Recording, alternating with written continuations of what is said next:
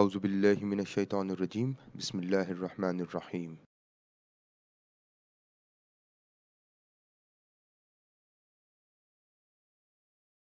In this session, we are going to talk about ordinal logistic regression analysis. Now, the concept of ordinal logistic regression.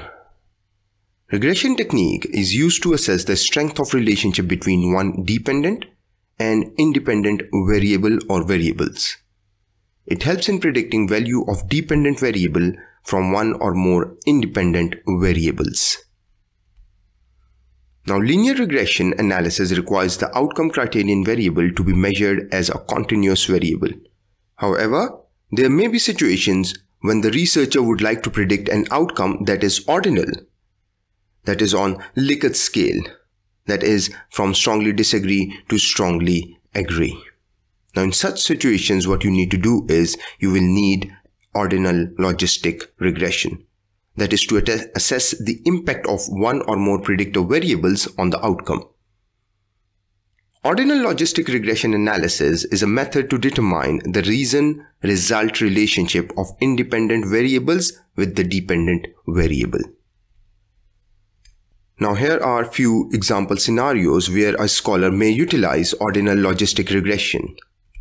The first one, a restaurant would like to assess factors that lead to high customer satisfaction ratings from strongly dissatisfied to strongly satisfied.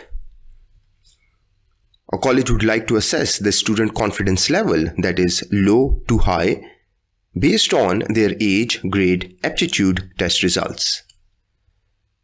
A HR researcher would like to ascertain how factors like experience, years of education, previous salary, university ranking affect the selection chances of a candidate in a job interview, where selection chances are represented by or measured using low to high Likert scale. A scholar would like to predict the interest of university students in their studies, where the interest is low or high, that is based on the independent variables that include assignments, co-curricular activities, gender, and age. In this particular session, we are going to take this fourth scenario as our example. Now, before I run ordinal logistic regression, let's see our data. So here is my interest measured as low and 5 is high, where 1 is very low, 5 is very high. And assignments, do you get any assignments? No, Yes. Again, co-curricular activities, one very few, two sometimes, and three quite often. Another ordinal independent variable. Gender, zero male, one female, dichotomous variable, and then the age is a continuous variable. So I've got a mix of all variables. I'm not using stress in this example. Now, how do I run it? Go to Analyze, Regression, Ordinal, now our dependent variable is interest and which one of these are categorical variables. So I'm going to put all these categorical variables here and my continuous variable will go into covariates. Now go to options and make sure logit is selected. Press continue. Go to output and this is one of the assumptions. So select test of parallel lines. Press continue Nothing else to do, just press OK for results. Now here are our results. Now we've got case processing summary, model fitting information, goodness of fit, pseudo R-square, parameter estimates, and test of parallel lines. I've got all these results here described in detail in this presentation here. So I'm just going to quickly go through these results. Now again, just go to analyze regression ordinal. Make sure in factors you add your nominal or ordinal variables and in covariates you add your scale variables that is interval or ratio. From options select logit and from output select test of parallel lines. Now the first table that you see in the output is your case processing summary. And what it does is that it shows you or highlights the cases included in the analysis. In this case, we've got 144 respondents. We've got 75 male, 69 female. And for co-curricular activities, 27 have said that, well, they have very few co-curricular activities. 71 have said, said that they have sometimes, quite often is 46. Similarly, the other categories and their frequency with the percentage as well. The next thing that we see is goodness of fit statistics and it, and it helps you determine whether the model adequately describes the data. Now we've got two tables for goodness of fit statistics. The first one is model fitting information. If the model is significant and here it is significant, this shows that there is a significant improvement in fit as compared to the null model a null model is one where you do not have any predictors. So there is a significant improvement in predicting the outcome when you have predictors in the model. And this has to be significant. Now here the model fitting information shows that the model adequately describes the data. And we've got another table as well. Now this goodness of fit statistics indicates a poor fit if the significance value is less than 0.05. Now here it is greater than 0.05 and here it is less than 0.05. For model fitting information, it has to be less than 0.05 in order for the model to adequately describe the data. But here it has to be greater than 0.05. A goodness of fit test in general refers to measuring how well the observed data correspond to the fitted assumed model. Now in this case, it is a comparison between your observed and you are fitted, that is your assumed model. In this case, an insignificant value would mean that there are no significant differences in the observed and fitted model. Moving on. The next thing that you see is pseudo R square.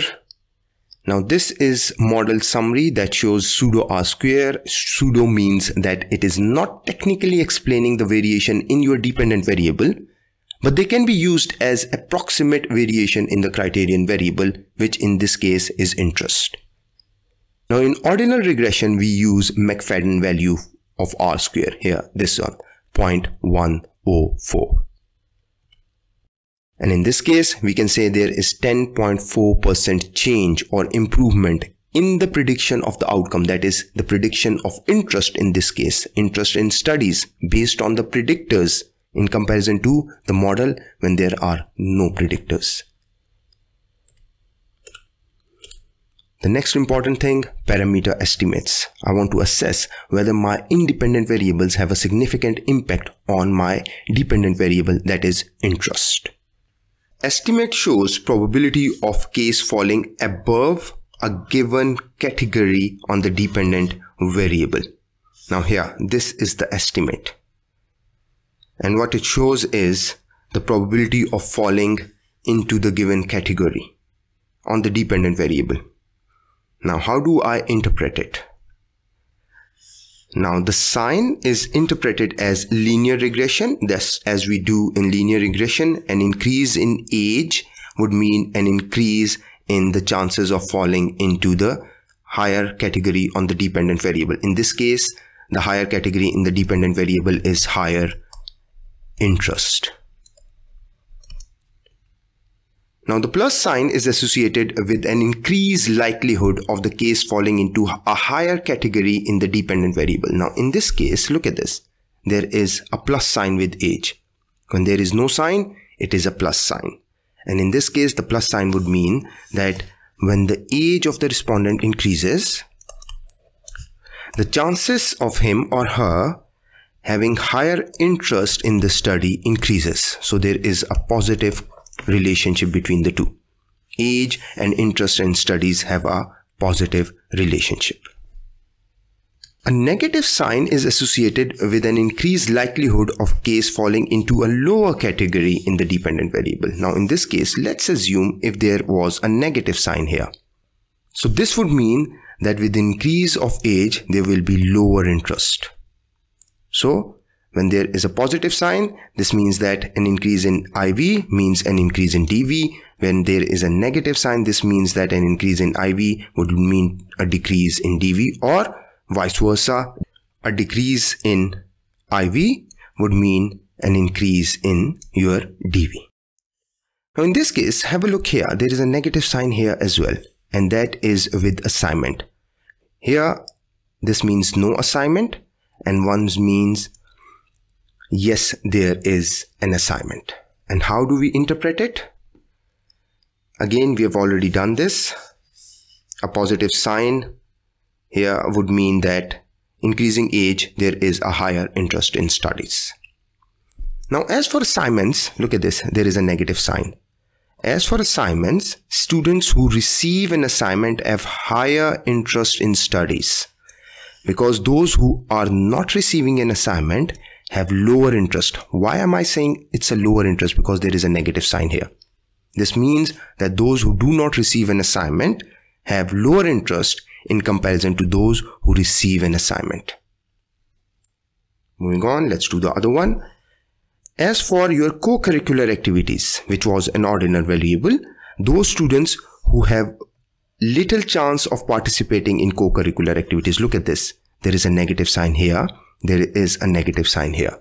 Now, in order to interpret this, you will compare it with the third category, that is your reference category. Now, interest in studies for those who have low co-curricular activities is lower in comparison to those who have higher co-curricular activities participation. So, and this is true for the second one as well. Those who have low co-curricular activities, in this case, it is sometimes. So those who sometimes participate in co-curricular activities have lower interest in comparison to those who have high participation because there is a negative sign here. So your interest in studies is higher when you've got high co-curricular activities. Why it's higher here? Because there is a negative sign here, there is a negative sign here. Now in this case, look at this. 0 represents male and 1 represents female. Now there is a positive sign here.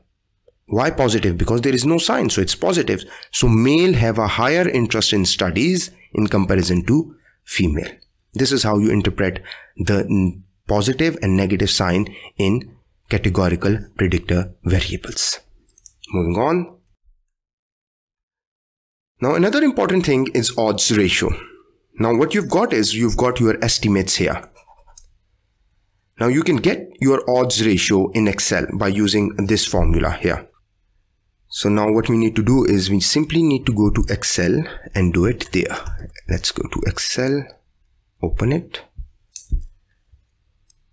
and let me copy this table here and get it into Excel.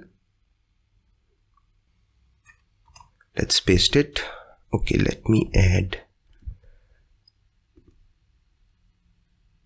And here it is, is equal to EXP and select this cell and the odds ratio for age is over 1 and similarly you can have it for others as well.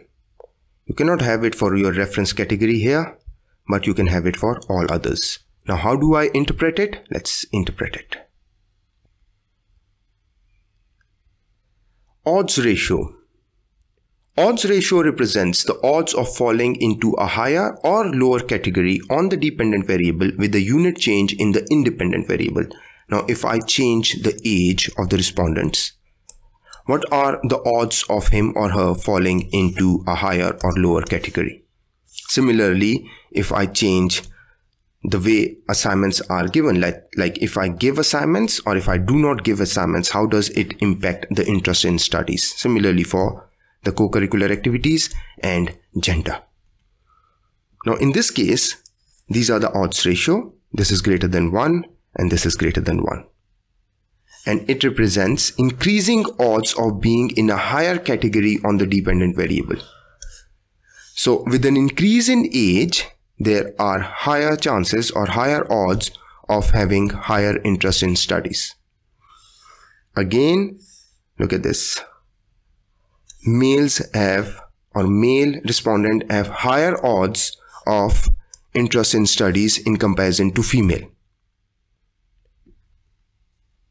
and less than 1 obviously this shows that there are decreasing odds of being in a higher category with unit increase in the predictor. That is if you decrease or change the odds here in this case you can decrease it. In this case you are changing the odds because this is a predictor variable. Now the odds of studies or interest in studies decrease when you do not give an assignment. But they can increase if you give an assignment.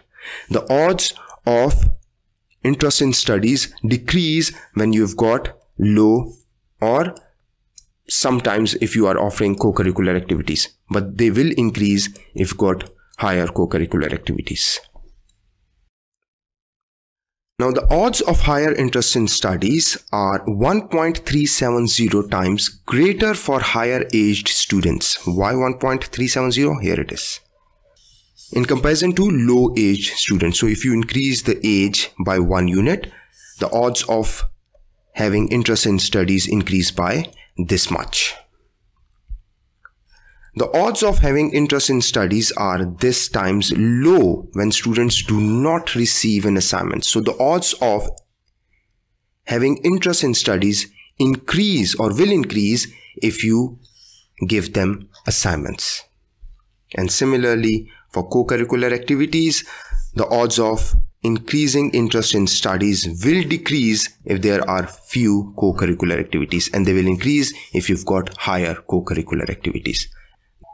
And finally, the odds of male students having higher interest in studies is greater in comparison to females and this is by 3.391. Finally, this is an assumption of ordinal logistic regression, test of parallel lines, assumption of ordinal logistic regression, the odds of falling into a higher level or lower level category on the DV are the same across the categories. Now you've got different categories here. The odds of falling into each category are the same.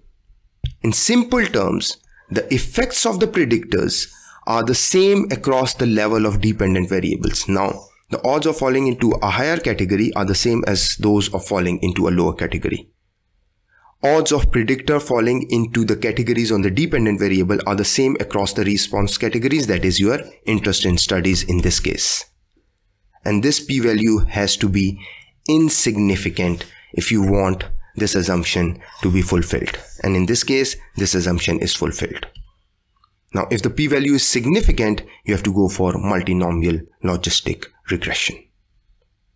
A significant test of parallel lines would mean that the probability of falling to a higher category does not vary across categories on the dependent variable. I hope this session would have helped you understand how to perform, analyze, and interpret ordinal logistic regression in SPSS. Thank you very much.